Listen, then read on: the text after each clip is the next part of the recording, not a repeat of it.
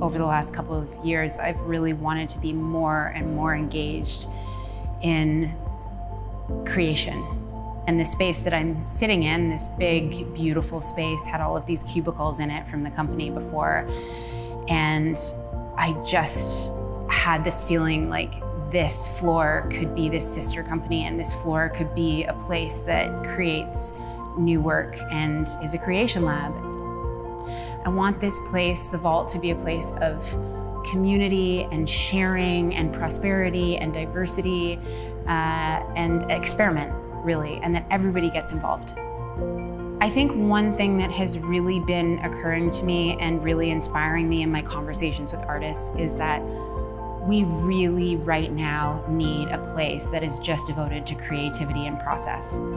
And I think it's hard sometimes to figure out how financially we do that.